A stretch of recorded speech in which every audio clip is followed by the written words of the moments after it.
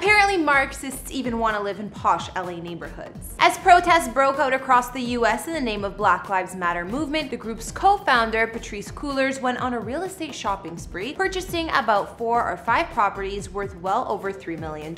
Most recently, she dropped $1.4 million on a mini compound in LA's Topanga Canyon area, just a short drive from Malibu, and no doubt after this spending, Patrisse is under fire. Today, we're gonna take a look at her controversial real estate portfolio. In these videos, we don't reveal any addresses, and even though I've done a house tour of my own place, please do not show up at any private residences because it's not safe for anyone. Patrisse Cullors is an artist, activist, and co-founder of the Black Lives Matter movement, also creating the hashtag in 2013. The BLM Global Network amassed $90 million or more in donations last year, but it's unclear what money or salary Patrisse is paid exactly. While Black Lives Matter released a statement saying that Ms. Cullors serves as an executive director in a volunteer capacity and does not receive a salary or benefits, most just aren't buying it. They also went on to state Patrisse has received a total of $120,000 since the organization's inception in 2013 for duties such as serving as spokesperson and engaging in political education work. Patrisse did not receive any compensation after 2019. Whether this is true or not, Patrisse has also inked a multi-year production deal last year with Warner Brothers and has a second book set to be released in fall. When news broke out about her real estate spending, some fellow activists were taken aback, including Hawk Newsome, the head of BLM in New York City, calling for an independent investigation to see how the global network spends its money. Patrisse's recent purchases in Topanga Canyon sparked further criticism too. The 2,370 square foot property has soaring ceilings and canyon views and two structures on a quarter acre of land. But the location is what really has people talking. The BLM movement has openly opposed capitalism and advocated for black communities. However, statistics show Topanga's residents are only 1.9% black and 88% white. Journalist Katie Grimes asked, was it ever really about improving black lives or just her own on the backs of BLM? And many are asking where the $1.4 million came from. What Cullors really proves is that most people want to live somewhere nice, even Marxists. They don't want to live in inner city slums. But these are just opinions of those online, and so it's an ongoing thing. I guess only time will tell how Patrisse amassed all that money for million dollar properties, but until then, we're gonna check them out. Hey guys, it's Karen. I'm bringing you another house tour here on Famous Entertainment. I noticed that 95% of you guys watching aren't subscribed, so be sure to hit that subscribe button and ring that bell for all the best celebrity house tours and more. Today, we're diving into the real estate shopping spree of Black Lives Matter co-founder Patrisse Cullors and checking out the new property she bought in Topanga, as well as her four other houses from Georgia to the Bahamas. As always, don't forget to follow me on Instagram to chat, and now let's get into this video.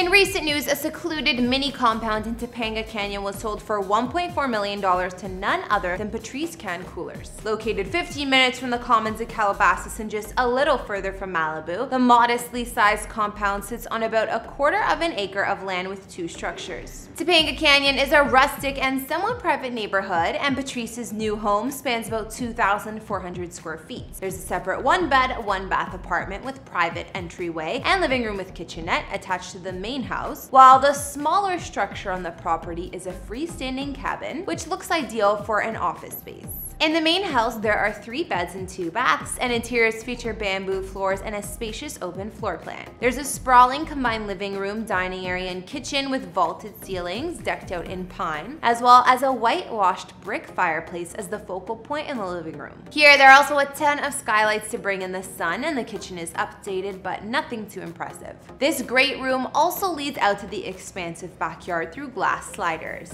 Two guest bedrooms are accompanied by a bathroom in the hallway and Elsewhere, the master bedroom has a vaulted and wood-clad ceiling, sitting area, and more glass doors to outside. Out back, there aren't many notable features aside from the freestanding cabin or office. While there is natural beauty thanks to the trees and mountains surrounding it, the backyard doesn't offer much except a covered patio for dining and a small deck. There's a ton of space though, so renovations are very possible. While this property might not look lavish compared to celebrity standards, some critics argue that living in a home worth over a million dollars is at odds with Patrisse's social justice mission. But if this purchase upsets you, wait until you see the rest of her homes. As I mentioned, Patrisse already had a real estate portfolio started, having snagged three other homes in the US alone for about $3.2 million according to property records. She started her buying spree in LA back in 2016, a few years after the Black Lives Matter movement gained worldwide traction thanks to the hashtag she created. That year, Patrisse bought a home in Inglewood, California for $510,000 with three beds and 1.5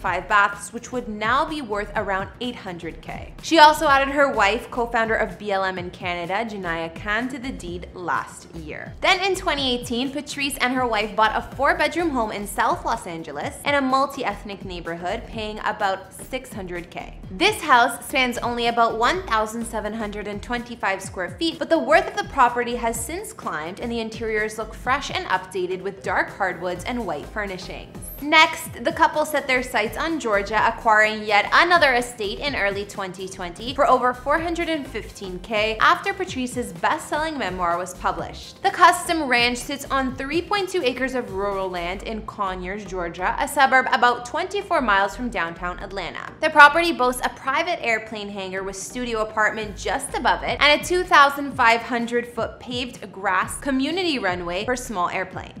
The home offers three beds and three baths, as well as features like an indoor swimming pool and separate RV shop where you can fix mobile homes, small planes, and more. Patrisse also allegedly was eyeing a property in the Bahamas located in a super exclusive resort where the likes of Justin Timberlake and Tiger Woods have owned retreats. Luxury townhomes and apartments at this beachfront Albany resort just outside Nassau are priced from $5 million and up according to an agent. The elite resort is spread out on 600 oceanside acres and boasts amenities like a private marina, designer golf course, and more. It's essentially only a place for the super successful and wealthy to buy property. While it's unclear if Patrisse ended up buying a property at this exclusive island retreat, her interest in the purchase alone just shows how far she's come from the Van Nuys neighborhood in LA where she grew up with her two brothers and younger sister. In her memoir, she described growing up in a housing project near Sherman Oaks in a two-story tan-colored building with peeling paint and a gate that doesn't close. The four children were mostly raised by Patrisse's single mother who worked 16-hour days to support them. Alright, so I think I'm gonna wrap up this house tour here. With all the controversy circling around Patrisse Cullors' multiple real estate purchases, you've now got a glimpse at the properties for yourself. The Black Lives Matter movement co-founder is being labeled a bit of a hypocrite after her latest $1.4 million home purchase in the fancy Topanga Canyon neighborhood of LA, and we've come to learn that she's no stranger to the real estate rodeo either.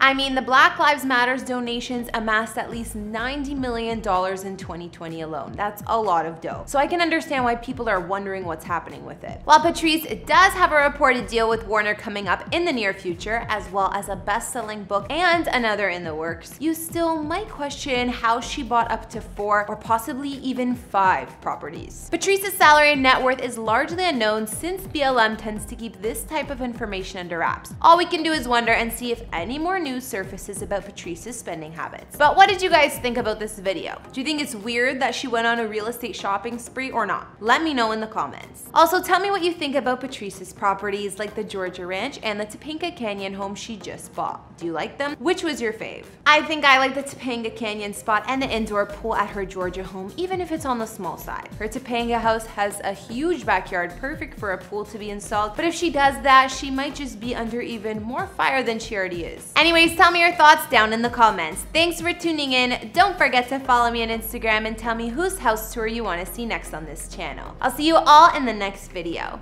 Bye!